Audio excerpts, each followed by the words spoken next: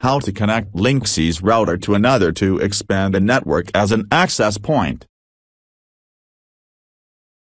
In addition to increasing your network capacity, a second router can also be placed in Wi-Fi blackout areas where the wireless signal is weak or non-existent. This video teaches you how to add a Linksys router to your home or small business network. Setting up the first router. Connect router 1 to a computer. Use an Ethernet cable to connect from one of router 1's LAN ports to a computer's Ethernet port. For the purpose of this video, we will refer to the TP-Link router as router 1 inch. You can also connect to the router wirelessly using the Wi-Fi name and passkey.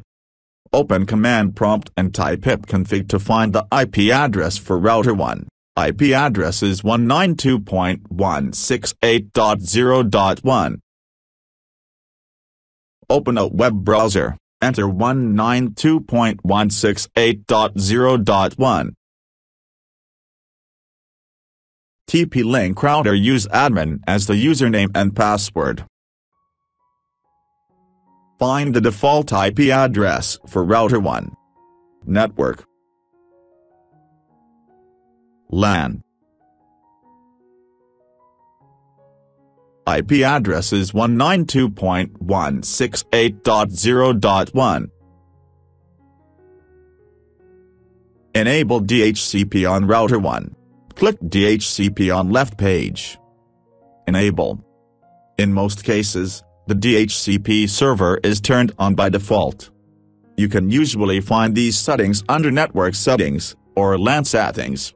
The admin user interface layout is different from one router make and model to another. Wireless Network Info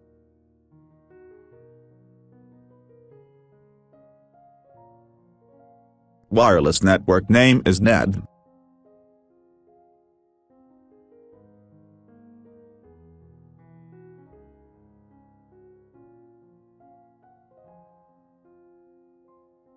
Wireless password is 1234567889.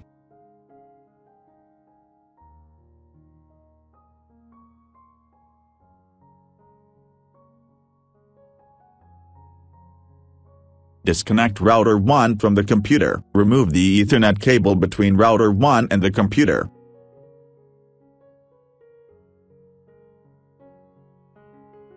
Setting up Linksys router.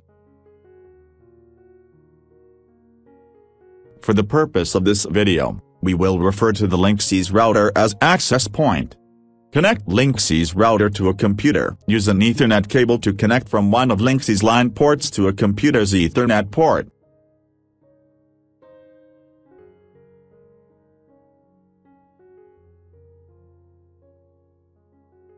Open command prompt and type ipconfig to find the default IP address for Linksys router. Open a web browser, enter 192.168.1.1. This opens the admin login screen for Linksys router. Continue with an open and unsecured network.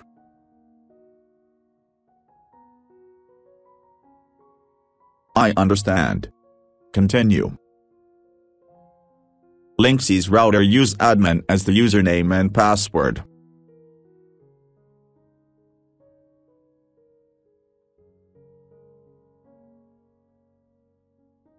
Configure Linksys router Wi-Fi name and passkey. They should be identical to router 1. Basic wireless settings. Manual.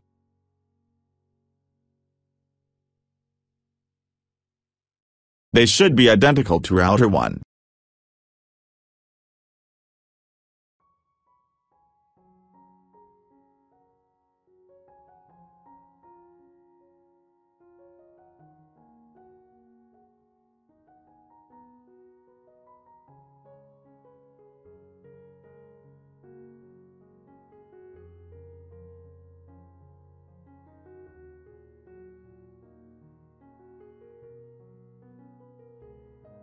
Wireless security settings.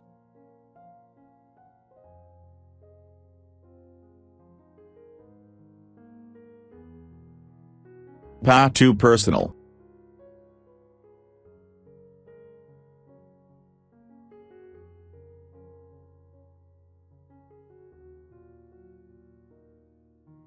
They should be identical to router 1.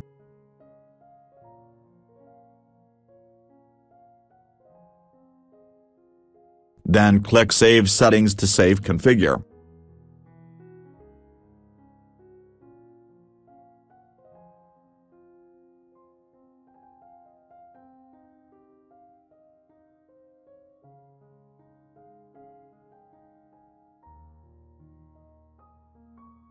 Assign a new IP address to Linksys.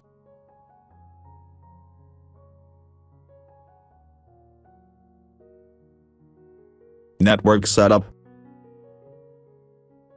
To prevent IP conflicts, Linksys router needs to have a different IP address than router 1.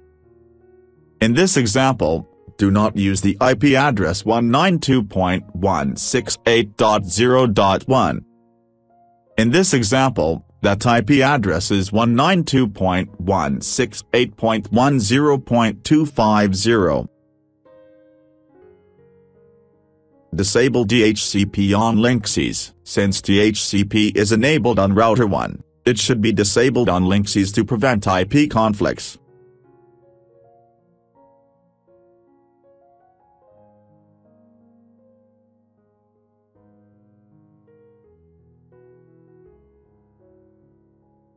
Then click Save Settings to save configure.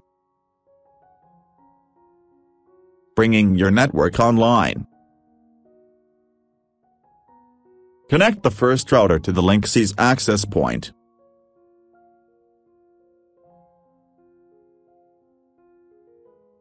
Use an Ethernet cable to connect to a LAN port on router 1. Then connect to the LAN port on Linksys access point. Make sure you're not plugging it into the WAN port as they look similar.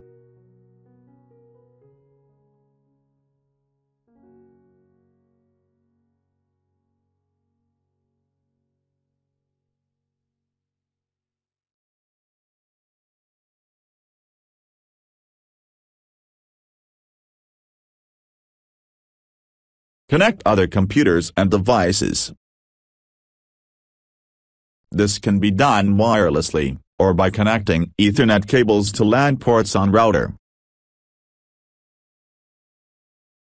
Thanks for watching, don't forget like and subscribe.